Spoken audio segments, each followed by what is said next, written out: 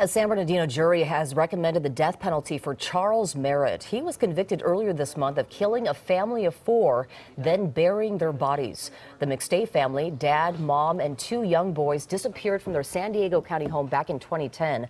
Their bodies were found three years later in the Victorville desert. Governor Newsom has placed a moratorium on executions while he's in office, but people can still be sentenced to death.